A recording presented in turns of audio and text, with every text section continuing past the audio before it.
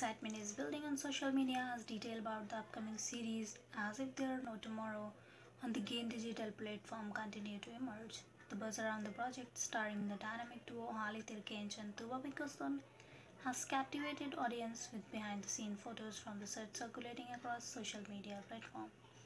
The anticipation for the collaboration of these two successful names in a brand new series has reached a million of fans.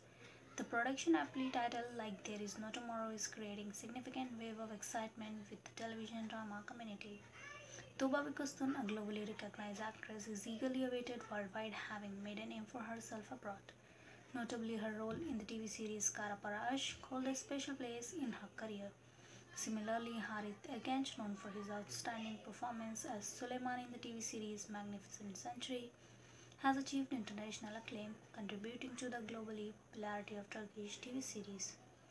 The new project under the direction of Zeynep Günay and producer Sanir Ayar has already started shooting as of December 9.